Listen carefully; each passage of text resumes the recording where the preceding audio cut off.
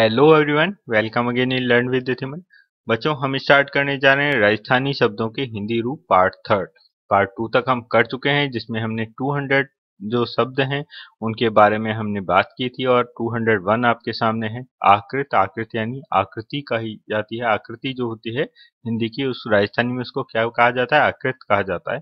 इस तरह मंझार मंझार क्या होता है? बिल्ली। बिल्ली को हमारे यहाँ पे राजस्थानी में क्या बोलते हैं? मंझार बोलते हैं। इस तरह खक खक यानी खल या भूसी। खल या भूसी क्या होता है?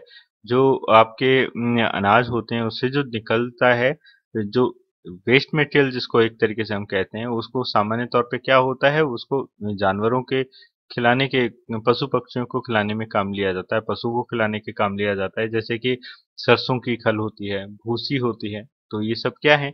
इसको हम राजस्थानी में खक बोलते हैं। इस तरह घण घण यानी घने, यानी बहुत ज़्यादा। और दूसरा घण यानी हथौड़ा, ठीक है? हथौड़े को क्या बोला जाता है? घण बोलते हैं। इस तरह राय राय यानी दरार दरार जो पड़ जाती है उसको बोलते हैं, अरे राय पड़ गई, है ना? तो राय यानी दरार पड़ना, और राय अपने हिंदी में क्या होता है? राय देना, है ना? लेकिन यहाँ पे क्या है? दरार को क्या कहा जाता है? राय, आछी, अच्छी को क्या कहा जाता है? आछी अच्छी छे मतलब घनी चौकी छे मतलब अच्छी है ना? शाला शाला मतलब श्रृंगार या श्यार शाला यानी श्रृंगार या श्यार को श्याला कहा जाता है। इस तरह खगा ने खगा खगा किसको कहा जाता है? तलवार। अपने यहाँ खग किसको कहा जाता है? पक्षियों को कहा जाता है। लेकिन खगा यहाँ पे तलवार को कहा जाता है। अवदात अवदात यानी हितकारी या उज्जवल। अवदात यानी हितकारी। उसी तरह रूढ़ी रूढ़ी यानी अच्छी को हम क्या बोलते हैं? अच्छी। या फिर रूढ़ी भी कहा जाता है राजस्थानी में। इसी तरह जंगल को क्या कहा जाएगा? दब। दब दबने वास्ते है ना? दब। दब किसको कहा जाता है? जंगल को कहा जाता है। उस तरह रोभा। रोभा कष्ट को कहा जाता है राजस्थानी में। रोभा किसको कहा जाता है? कष्ट को। रद। रद यानी रद्दी। रद्दी को रद कहा जाता है।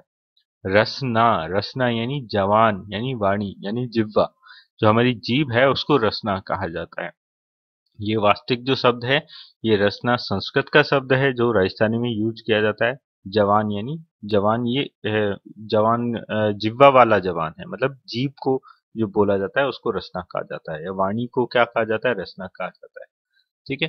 रंच यानी जरा सा रंच रंच मात्र भी असर ना होना, रंच बात मतलब थोड़ा सा भी असर ना होना।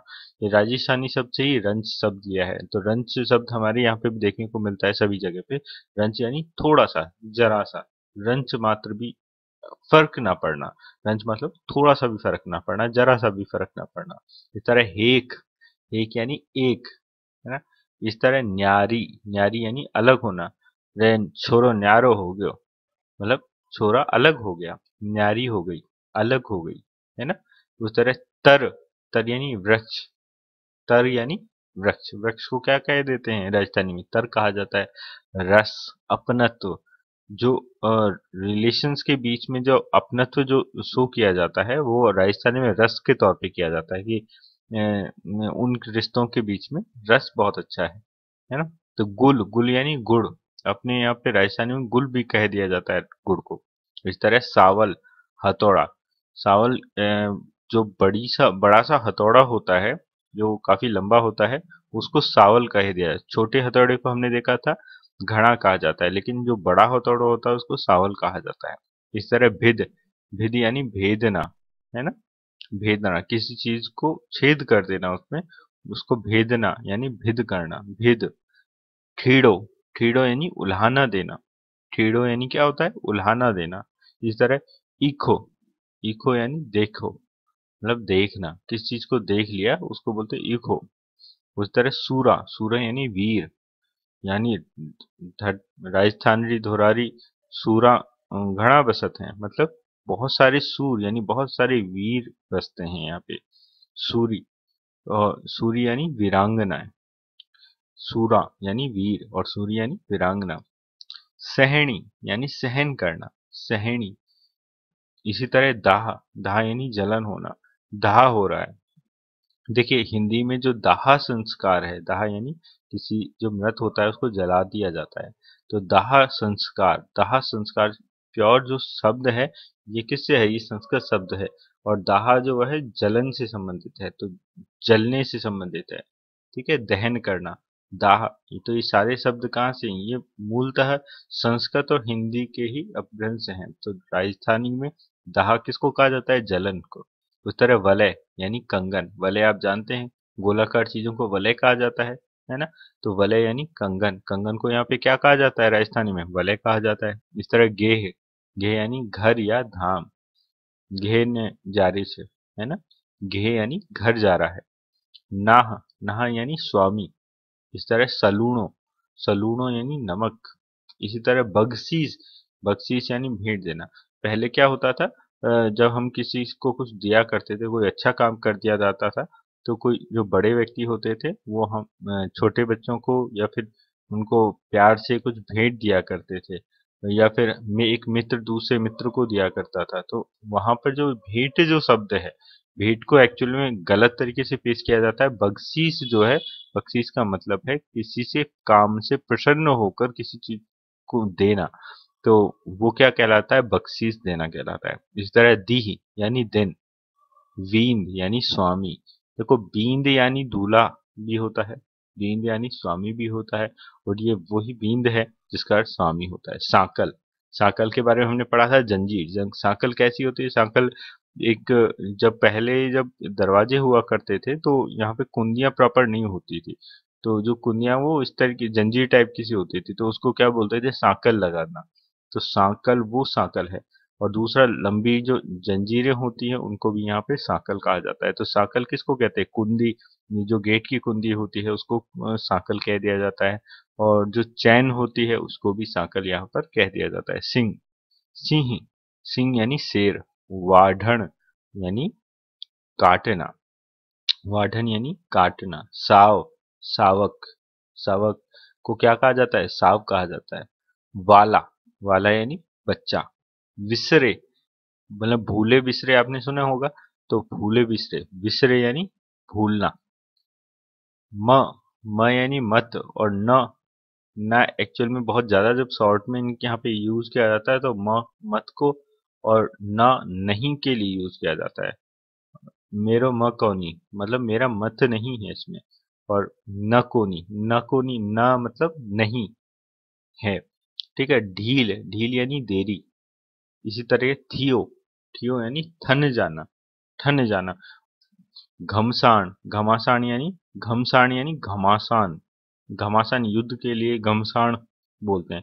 रे उनमें तो घमासान हो रही से मतलब घमासान युद्ध हो रहा है, लड़ रहे हैं वो बहुत ज़ोर से। इस तरह अतरा यानी इतरा, ठीक है, देशड़ यानी देश पर या देश में। धव धव यानी दौड़ना, धावक, धव, धावक से क्या है? धावक से धव, और धव का अर्थ क्या है? दौड़ना।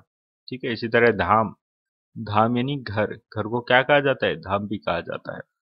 ठीक है, इस तरह पाछटू यानी पाछटू यानी बिखेर दू इस तरह रावत रावत राजपूत को कहा जाता है। इस तरह जाम जाम जो बोलते हैं, पैदा हुई कोई चीज़ होगी, उसको क्या बोलते हैं? जामगी। गोठ गोठ यानी सामूहिक भोजन। सामूहिक भोजन जब करवाया जाता है तो गोठ करवाना कहते हैं उसको, गोठ करना। इस तरह बम यानी नगाड़ा। नगाड़ा जो होता है, आपको पता है नगाड़ा किस तरह आवाज़ करता है? धम धम की आवाज़ करता है, एक ड्रम की तरह आवाज़ करता है ना, वो उसको हम राजस्थान में क्या बोलते हैं? बम। इसी तरह लगाम। जहाँ पे राजस्थान में बम नृत्य भी होता है, इस तरह लगाम। लगाम क्या है? बलगा। बलगा को क्या बोलते हैं? लगाम। ड्योढ़ी यानी डोंढिया इस तरह ढाल ढाल होना, उसको बोलते हैं खेटक। तलवार तलवार क्या है? रुख। तलवार को क्या बोला जाता है? रुख। इस तरह अतिथि, पाहुणा, है ना? पाहुणा क्या बोलते हैं? पावना भी बोल देते हैं इसको। पाहुणा भी बोल देते हैं इसको। तो अतिथि को क्या बोलता है? पाहुणा बोलते हैं। इस तरह रेत के जो टीले हैं, धरती धोरारी, है ना? धरती धोरारी यानी रेत की धरती, रेत के टीलों की धरती, कौन सी है? राजस्थान है। और राजस्थान को क्या बोलते हैं? धरती धोरारी तो धोरा मतलब रेत के टीले। इसी तरह रमणना रमणना यानी लीला करना। रमणना यानी कहीं पर रुक जाना या वहाँ ठहर जाने को रमणना बोलते हैं। या फिर वहाँ पर रुक रहने को रमणना बोलते हैं। तो इसे लेकिन रमण किसको बोलते हैं? लीला को बोलते हैं। ठीक है? खूंटो। खूंटो यानी केंद्र। केंद्र जो होता है, उसको लिए यहाँ पर खूंटो बोला जाता है। लुण लुण मतलब झुक झुक कर, लुण लुण। आपने गाना भी सुना होगा, अगर राजस्थानी का भी गाना सुनते हैं तो लुण लुण, जाए, ऐसा कुछ गाना है, झुक झुक, इसका अर्थ क्या होता है? झुक झुक। लारे, यानी संग। मारे लारे चल, है? मारे लारे चल, छोरी। मतलब मेरे संग चल तो लारे मतलब साथ या संग चलना। मधुआ यानी मस्त होना। ध्वजा, यानी ध्वज। ध्वज का अपभ्रंश होकर ध्वजा हो गया। इस तरह काणी काणी, कहानी को काणी बोलते हैं यहाँ पे। ब्रिचेस, पुरुष के कमर के नीचे का जो वस्त्र होता है, पुरुष के कमर के नीचे का जो वस्त्र होता है उसको क्या बोलते हैं? ब्रिचेस बोलते हैं।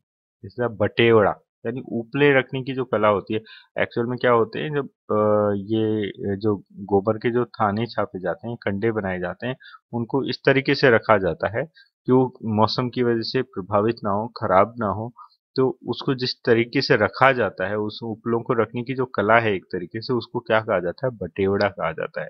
एक चौकोर सा या गोलाकार एक आकृति का एक आकृति बना दी जाती है, जिसमें वो सुरक्षित होते हैं तो उसको क्या कहा जाता है? बटेवड़ा कहा जाता है। उदयी उदयी क्या होता है? दीमक को उदयी कहा जाता है। उसी तरह वायु का भंवर, वायु का भंवर, वायु का भंवर को क्या कहते हैं? भभूलिया। एक्चुअल में क्या होती है? धूल उड़ती है। तो धूल को, भूलिया, भभूलिया, वो क्या है कि गोल गोल आकृति की वजह से जो भंवर बन जाता है वायु का, जो यहाँ राजस्थान में गर्मियों में देखने को आपको बहुत आसानी से मिल जाएगा तो उसको यहाँ पर भभूलिया बोलते हैं। पान का खेत, पान का खेत बजेड़ा को बोलते हैं इसको। क्या? पान के खेत को क्या बोलते हैं? बजेड़ा। सार्थवाह। सार्थवाह यानी बालद। इस तरह मेवाड़ की ओढ़नी, ये काफ़ी इंपॉर्टेंट है। मेवाड़ की ओढ़नी यानी ढींगला या भिडरिया। मारवाड़ की ओढ़नी दामणी। मारवाड़ की ओढ़नी को क्या बोलते हैं? दामणी। चुनाई का काम करने वाला चेजारा। चुनाई का काम करने वाला क्या कहलाता है? चेजारा। और अपने दही को बिलोने वाली मटकी बिलोवनी दही को बिलोकर आप मतलब गोल गोल घुमाकर जब घी निकालते हैं तो उसको क्या बोलते हैं? बिलोना बोलते हैं। कि उसको बिलो लिया मतलब गोल गोल ज़ोर से घुमा दिया। तो उससे क्या होता है? दही से घी निकलता है। तो इसको जिसमें घुमाया जाता है, दही को बिलोने वाली जो मटकी होती है, उसको क्या बोलते हैं? बिलोवनी कहा जाता है। उसी तरह झड़ने को घुमाने वाली रस्सी, झेड़ने को घुमाने वाली रस्सी को क्या बोलते हैं? नेत्रा। गस्तक किसे बोलते हैं? लीलाड़। इस तरह न्यौछावर। न्यौछावर कर देना किस चीज़ के ऊपर? यानी निछरावल। देश में न्यौछावर होना है। निछरावल। इस तरह मधुर, मधुरा नहीं को कोनी। ये शब्द तो बहुत ही ज़्यादा आता है। कोनी, हर हर दूसरे तीसरे शब्द में आपको देखने को मिलेगा। कोनी आयो मतलब नहीं आया, है? कोनी जावे छोरा मतलब जा लड़का नहीं जाता है। तो नहीं मतलब कोनी यानी नहीं। उणियारो यानी शक्ल या सूरत। मतलब उसका जो चेहरा है, उसका उणियारो वह कैया उनियाड़े है। तो मतलब उसकी शक्ल कैसी है? निनाड़, यानी खेत से खरपतवार हटाना। उसको क्या बोलते हैं? निनाड़ करना इस तरह खलो। अनाज निकालने का स्थान को क्या बोलते हैं? खलो। अनाज निकालने के स्थान को खलो बोलते हैं। कचरा इकट्ठा करने का उपकरण, दंताणी। कचरा इकट्ठा करने, दंताणी क्या होता है? दो ये मान लीजिए कि दो सींग वाला एक लंबा सा वो होता है एक यंत्र होता है जिससे कचरा इकट्ठा किया जाता है तो उसको क्या बोलते हैं? दंताणी कहा जाता है। चार सिंगी का उपकरण चौसंगी और भूमि जोतने का उपकरण हल या सीर। ठीक है सीर आ, हम तीरों को भी कहा जाता है। तीर एक्चुअल में ये संस्कृत का शब्द है लेकिन हल और सीर किसे कहा जाता है? भूमि जोतने का उपकरण। पत्थर खोदने का लोहे का उपकरण क्या है? हिंसू। और पशुओं को खेत में नुकसान करने से रोकने के बनाई गई जो दीवार होती है, वो क्या कहलाती है? बाढ़ या मेड़, है ना? बाढ़ या मेड़ कहा जाता है। यानी जो किससे बनाई जाती है? सामान्य तौर पे जो लकड़ियाँ होती हैं जो कांटों वाली लकड़ियाँ होती हैं, जो जिनको हम राजस्थान में बोलते हैं ढांकरी ढांकरी लगा देते हैं लोग। बेचारा मशीन, ज़मीन या दीवार में लगाई गई कील कील को मेख कहा जाता है। देखिए, दीवार जो होती है, उसको मेड़ कहा जाएगा। बाढ़ या मेड़। और जब मेक होती है मेक यानी ज़मीन या दीवार में लगाई गई जो कील होती है है ना? तो उसको क्या बोलते हैं? मेक और मेक का अर्थ ये भी होता है मेक निकालना। मेक निकालना का मतलब कोई कमी निकालना। मेक का अर्थ कमी भी होता है। उस तरह कूड़ी या कूलड़ी, गोबर कचरे का जो ढेर होता है, उसको कूड़ी बोलते हैं। यहाँ पे साफ़, ज़्यादातर कूड़ी बोला जाता है। ठीक है? और कुलड़ी भी बोल दिया जाता है कुछ जगह। कुलड़ी छोटे जो कुल्लड़ होता है, उसके लिए भी बोल दिया जाता है। तो कई, एक ही शब्द के कई अर्थ हो जाते हैं कई बार। लेकिन आपको जो यहाँ पर लिखा है, उसको ज़्यादातर याद करना है। उसका कारण क्या है कि आपके ये जो वर्ड्स हैं, ये आपके कहाँ से हैं? ये आपकी बुक से हैं। तो इस वजह से इनके आने की संभावना ही ज़्यादा रहती है। और इसमें जो लिखा है, वही आपके लिए परम सत्य है। बान बान यानी बुआई से पूर्व भूमि को पोला करना।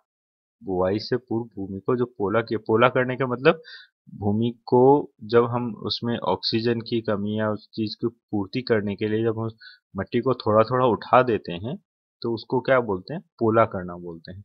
तो उस, इस काम को जो बुआई से पूर्व जो भूमि को पोला किया जाता है, यानी उठाया जाता है थोड़ा थोड़ा तो उसको क्या बोलते हैं? बाँध करना कहते हैं।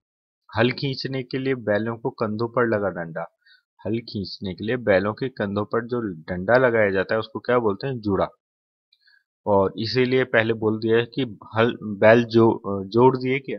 जुड़ गए क्या? जुड़ गए क्या? मतलब मैं राजस्थान में नहीं बात कर रहा हूँ, क्योंकि ऐसा करने से मुझे पता है बहुत सारे बच्चों को समझ नहीं आएगा तो इसलिए मैं बोल रहा हूँ।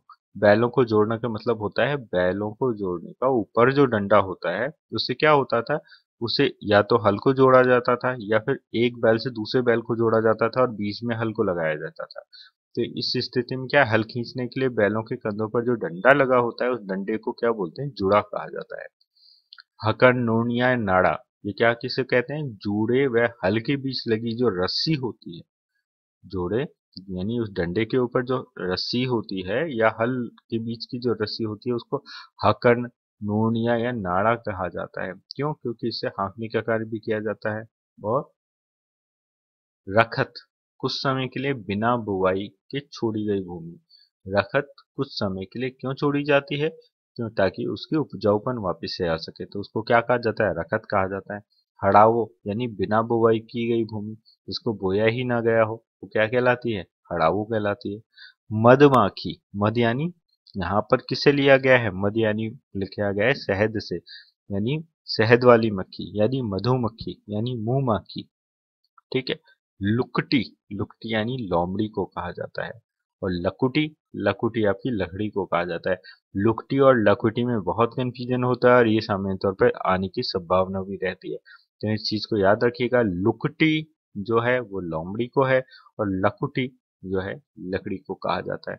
तो बच्चों, इसी के साथ आपके राजस्थानी शब्दों के हिंदी रूप होते हैं कंप्लीट तो मिलते हैं फिर किसी नए टॉपिक के साथ नए वीडियो में, तब तक के लिए थैंक यू